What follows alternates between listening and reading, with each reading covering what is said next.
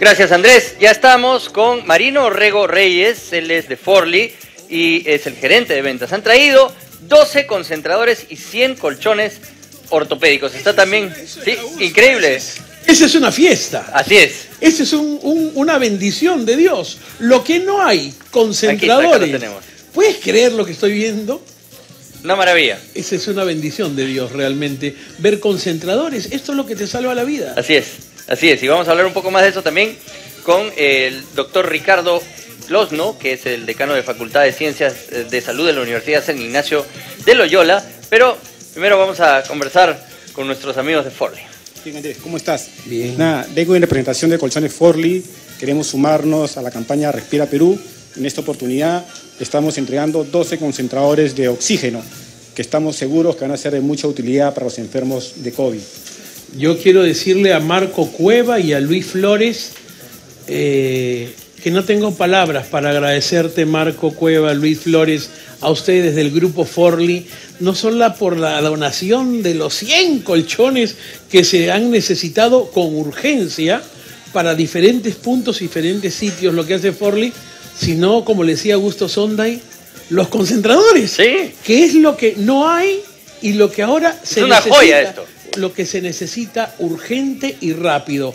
Haber donado realmente los concentradores. Yo decía cuando llegó y dije, no puedo creerlo, me siento emocionado porque día a día, todos los días nos dicen, hoy murió alguien, hoy murió mi amiga, en la tarde murió mi abuelita, en la mañana. lo último que, que estoy viendo ahora, que el hijo de varias familias, el hijo está entubado y no sabe que su madre acaba de morir hace tres días. Qué terrible. En miles de familias. Qué terrible. Y, la- y- y- y solamente me pregunto, me digo, me respondo, ¿qué ¿por qué no lo hicimos antes?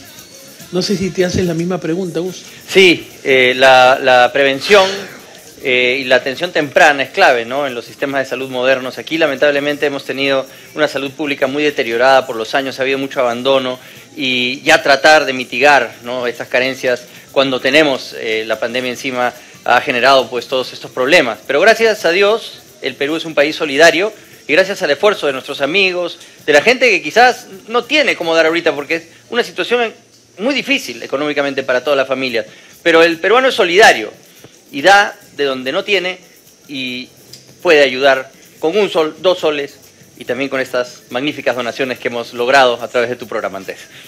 Doctor, Bueno, eh, mi saludo Andrés y eh, como dije fuera de cámaras, es un honor para mí porque reconozco el esfuerzo y la ayuda de todas las personas, Augusto. La universidad, nuestros directivos, el presidente fundador, Raúl Díaz Canseco y la presidenta ejecutiva Luciana de la Puente, la doctor- nos encargaron diseñar qué hacemos con atención temprana. Permítame el micro más. ah, Ah, ahí, ¿Qué hacemos con la atención temprana?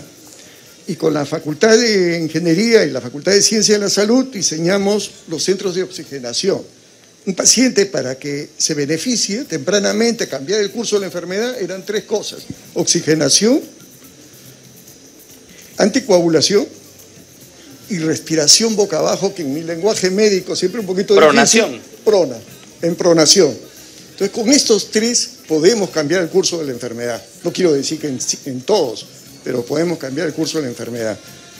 Cuando decidimos por qué, cómo vamos a suministrar el oxígeno, cómo vamos a suministrar el oxígeno, nos decidimos por los concentradores. Nos liberamos de la logística. El concentrador del aire, del aire que está acá, puede suministrar lo que se necesita. Para un caso leve, dos litros, tres, cuatro, cinco litros por cánula binasal es suficiente. Para uno moderado, esto puede llegar hasta 10 litros. Que si le ponemos una máscara de reservorio a partir de 7 litros, 7, 8, 9, 10 litros, funciona para un caso moderado.